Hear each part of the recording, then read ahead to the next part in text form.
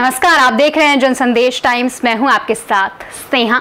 प्रज्ञा के ठाकुर सज्जन सिंह को कौन भूल पाया है?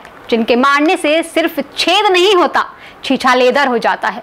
प्रयागराज के ठाकुर सज्जन सिंह का किरदार ही कुछ ऐसा था, जिसने देखा वो फ़ैन हो गया।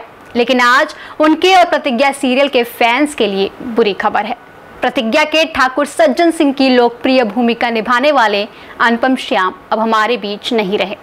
तिरसठ साल के अनुपम श्याम के शरीर के कई अंगों ने काम करना बंद कर दिया था।